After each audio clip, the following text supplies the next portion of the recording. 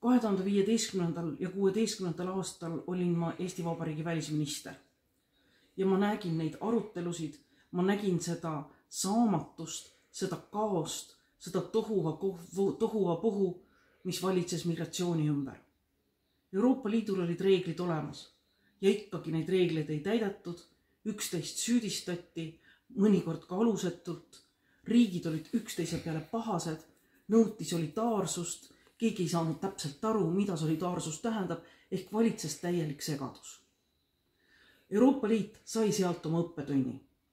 ja pärast seda on Euroopa Liidus räägitud aastaid, et migratsioonisüsteem tuleb saada kontrolli alla ja ta peab olema saa-, üheselt reguleeritud üheselt reguleeritud tähendab seda, et kõik Euroopa Liidu liikmesriigid saavad ühtemoodi aru, kuidas ühte või teist sätet tuleb täita.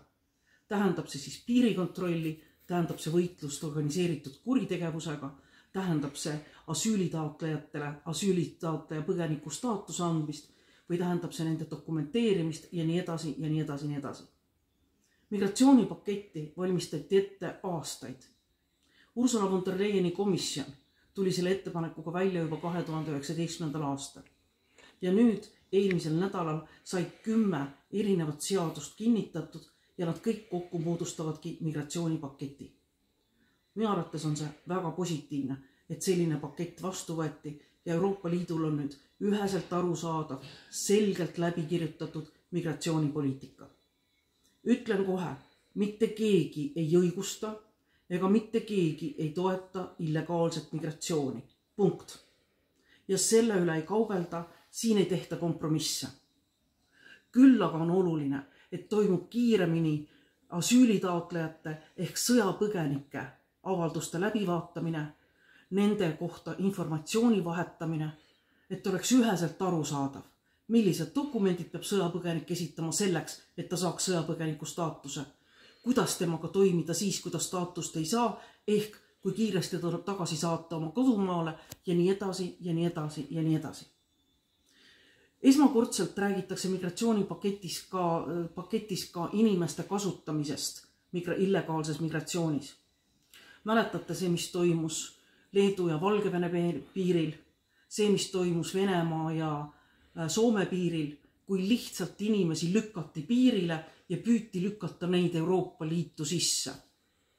kui see toimus esimene kord Valgevene ja Leedu piiril, tekitas see palju küsimusi ja ka rahvusvaheline üldsus oli liialt võib-olla põgenike, nende inimeste toetamisel väljas. Soome käitus väga järsult. ta lihtsalt pani kõik oma piiripunktid kinni ja lihtsalt kedagi oma territooriumile ei lasknud. ja ma arvan, et Soome käitumine oli ka võtmekohaks, miks Euroopa Liit hakkas tõsisemalt suhtuma sellesse, kuidas takistada ja kuidas vältida inimeste kasutamist ränderündes. On kokku lepitud ka see, et toimub riikide vahel infovahetus põgenike kohta, migrantide kohta. et ei oleks nende alusetut ringi käimist Euroopa Liidus, et nad ei õngitseks, kust nad saavad paremaid tingimusi või paremaid toetusi. lõppude lõpuks ei ole selle migratsioonipaktiga kõik lõpuni rahul inimõiguslased ütlevad, et ta on liiga karm, ei austa inimõigusi, siin ma ei ole nendega nõus. Kõik sätted, mis on sisse kirjutatud uude migratsioonipakti, austavad rahvusvahelist õigust, austavad asüülitaotlejate, austavad migrantide inimõigusi.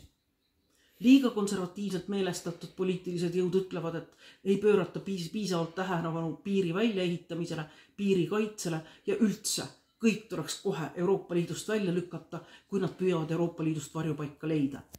see ei ole humaanne, see ei ole õige ja seda ei saa toetada. Ma arvan, et see praegune kokkulepe on tasakaalukas. ma arvan, et see praegune kokkulepe on hea. ta jõustub paari aasta pärast ja jääb vaid loota, et liikmesriigid hakkavad seda ka täitma nii, nagu ta tänaseks kokku lepitud on. nüüd aga tagasi edasi Brüsselisse ja sellest, mis sellel nädalal toimub, räägin teile juba nädala pärast, aga üks sündmus ootab ees, see on filmiauhinna Lux Award väljaandmine